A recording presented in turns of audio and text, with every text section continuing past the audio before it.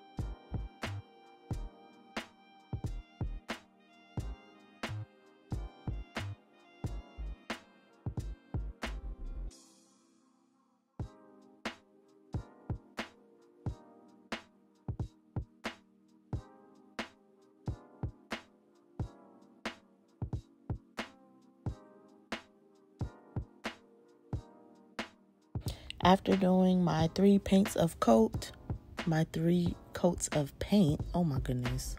I used some Mod Podge to seal it because I just didn't want the paint to chip and I just wanted it to last longer.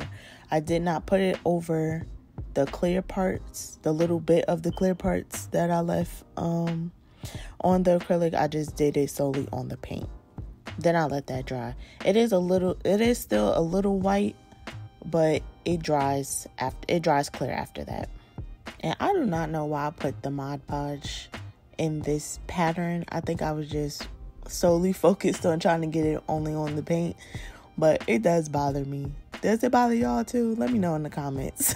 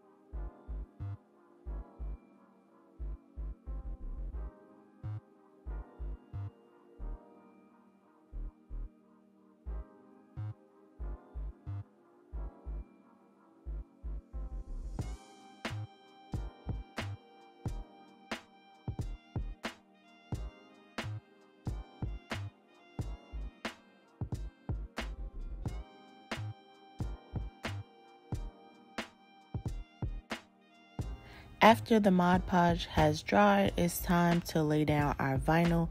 I already cut out and weeded my vinyl off camera. I'm using both matte and mirrored, gold mirrored vinyl. Also, I'm using my text base logo that I created in Canva. Let me know if you guys want a Canva tutorial because I honestly love Canva. Like, there's so much that you can do in Canva, and even with the um, QR code, I use that for Canva as well. But when I get to that part, I'll show y'all.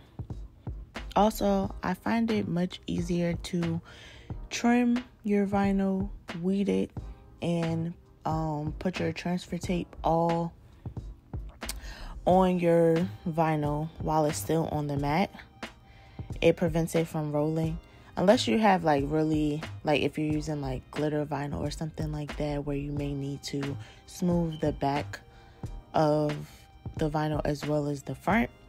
But i find doing this all on the mat just makes it easier because your vinyl is already flat. So it's just easier to get it to stick to your transfer paper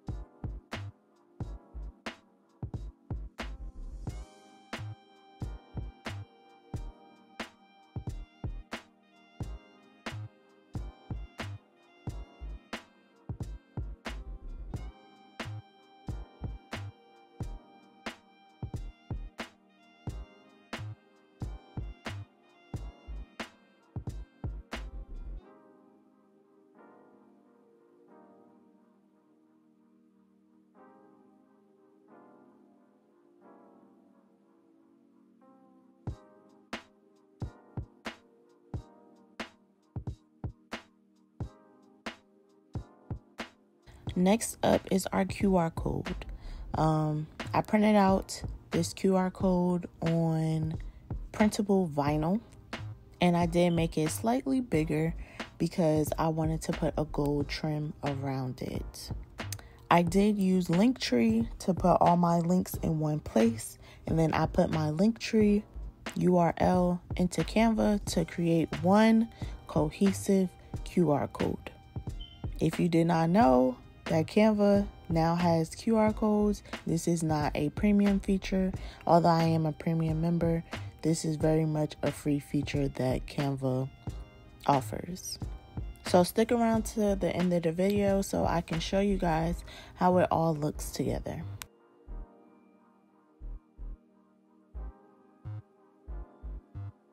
This is not sponsored, but I really do love Linktree because it has all of my links all in one place.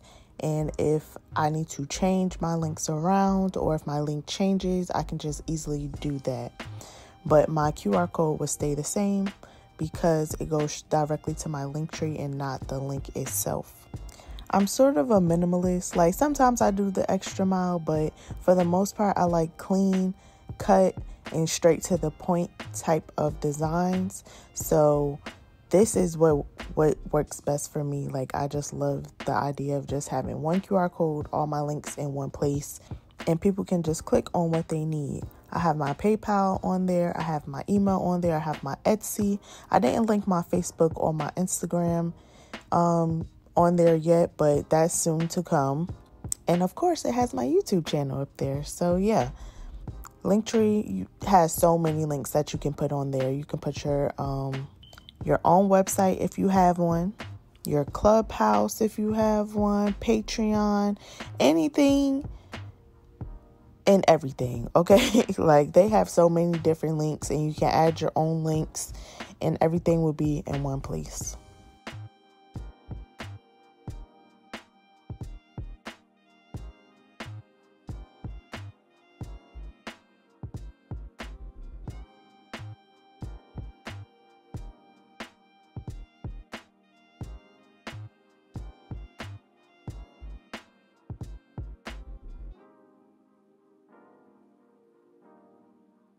So I got all these social media logos right off of Canva. Some of them were premium and but majority of them are free. They just may be in a different style, but you still get the gist. Like I said earlier, if you guys would like a Canva tutorial, please let me know in the comments because I'll be happy to make one for you guys.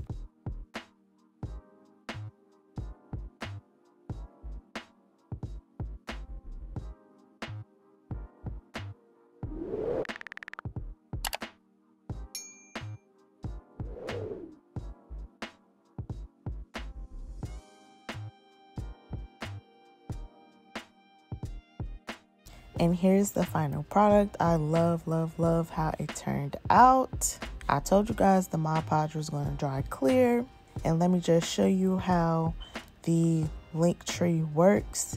Just go ahead and scan with your camera and boom. Like I said, there's so many links you can add to your Linktree. And they also have payment options. So you have PayPal, they support Square, and they're also about to support Stripe. So they said that's coming soon. If you like this video, go ahead, give me a big thumbs up. And don't forget to subscribe to my channel because I see y'all watching, but y'all not subscribing. We almost at 5,000 subscribers. And I'm doing a giveaway at 5,000. So y'all might as well subscribe so you can, you know, so you have a chance to win. Hello? But as always, thank you so much for watching, and I'll see y'all in my next video. Until next time, my Kandor Crafters.